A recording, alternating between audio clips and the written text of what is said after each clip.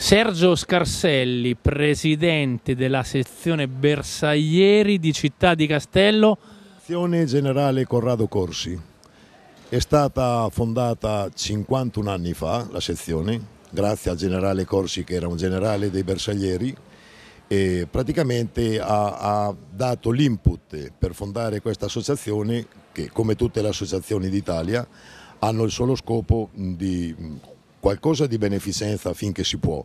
E poi di raduni bersagliereschi per ritrovarci ogni anno eh, ai raduni nazionali e prendere parte a manifestazioni che vengono a essere svolte nella, nella, nostra città in particolare oppure nelle città limitrofe, anche qualche volta con trasferimenti abbastanza lunghi. E comunque è un piacere immenso prendere parte noi fanti piumati, perché noi siamo fanti piumati, prendere parte a queste manifestazioni e, con orgoglio. E poi quando la nostra fanfara, il suono della fanfara che ci riempie il cuore di, di gioia, di, di una carica di gioventù, ci fa ritornare vent'anni, a parte che noi bersaglieri abbiamo vent'anni sempre.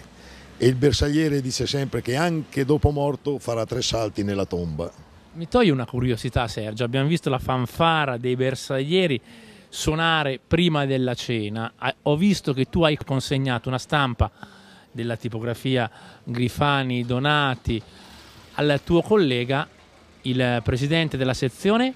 Della sezione di Montevarchi, il presidente della fanfara della sezione di Montevarchi. Quanti bersaglieri iscritti alla sezione di Città di Castello? Alla sezione di Città di Castello siamo iscritti 47 bersaglieri praticamente un numero abbastanza consistente considerando che il corpo eh, in armi c'è ancora, però eh, il servizio militare è stato abolito e di conseguenza noi siamo tutti quanti ex militari che hanno fatto parte della, de, della, del corpo di bersaglieri.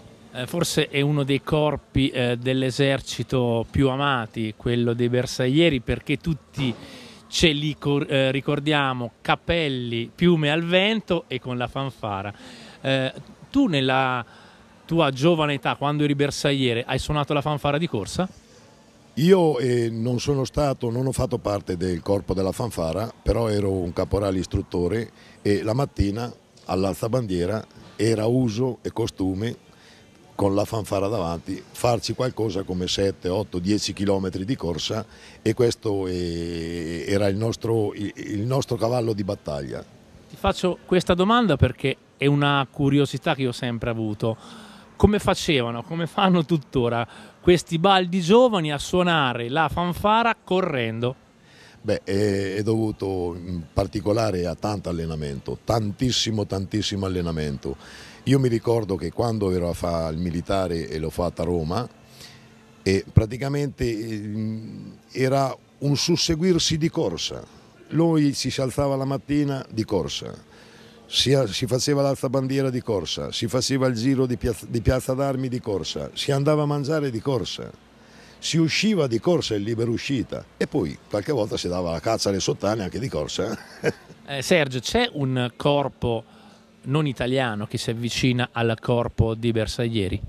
No, eh, in tutto il mondo credo che non ci sia un corpo mh, perlomeno simile ai bersaglieri, perché il bersagliere è, è unico, è stato fondato nel 1823 dal generale La Marmora e mh, un corpo simile non esiste da nessuna parte, anche perché mh, non è, è, impossibile copiarlo.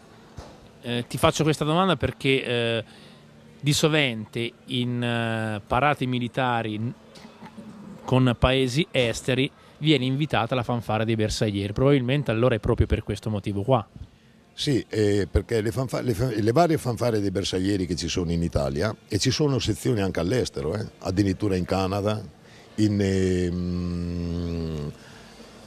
in America, in Australia e praticamente le nostre fanfare, quelle abbastanza consistenti vengono a essere invitate spesso e volentieri in questi paesi proprio per rivedere vecchi commilitoni italiani andati all'estero per farli risentire ancora veramente giovani. E ce ne sono tanti di bersaglieri che sono all'estero, tanti tanti tanti.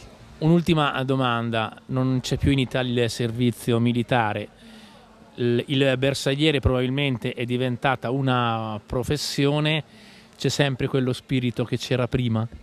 Sì, eh, io conosco gente che sono in missioni di pace, eh, bersaglieri, e hanno sempre quello spirito mh, mm, vivo, è una cosa che abbiamo dentro noi bersaglieri. Al momento in cui uno parte, ti mettono il cappello piumato, eh, ti senti prendere veramente fino in fondo e non l'abbandonerai mai, mai, mai nel corso della tua vita, mai, assolutamente.